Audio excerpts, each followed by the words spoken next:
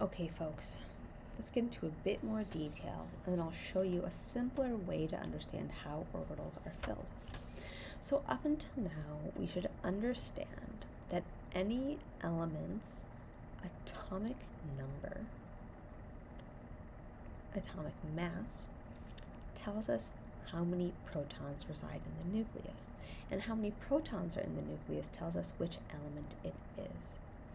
But we can also use the periodic table to tell us how many electrons any element has as well. So for example, when we were just practicing filling the various orbitals from low energy to high energy, we were really talking about how each of these elements has electrons, how many they have, and where they go. So for example, hydrogen with an atomic mass of 1 has one proton, we know that. But atomic hydrogen also has one electron.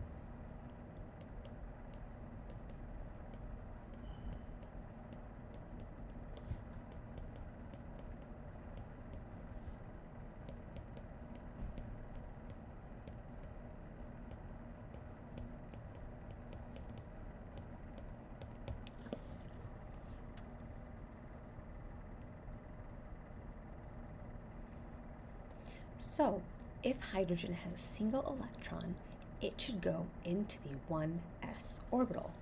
And as chemists, we draw it just like that, as like a single-headed arrow.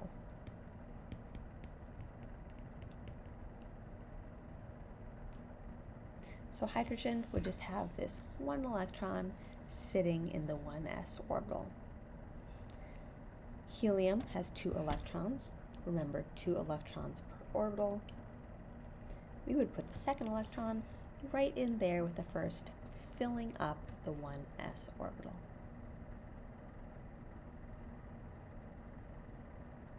But once we fill up 1s, we need to jump into 2s, right? So I like to always show this picture of the periodic table because it shows us very neatly how electrons fill the orbitals.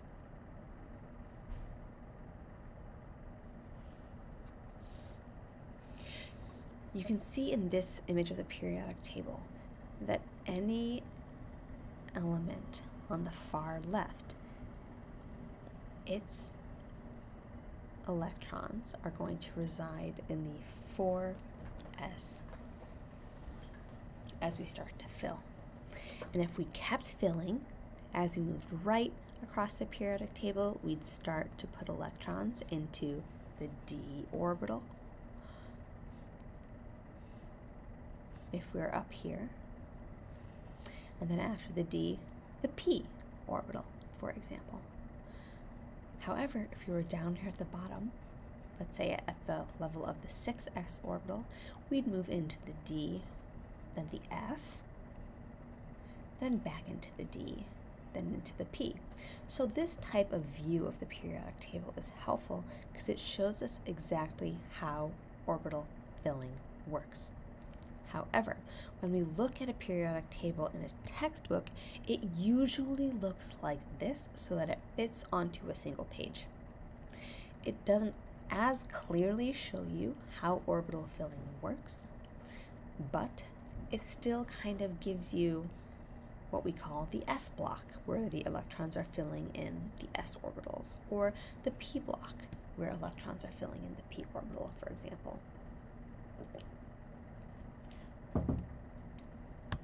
So with this review, folks, we should be able to kind of guess how electrons are filled and which orbitals they are going into simply based on where an element resides on the periodic table.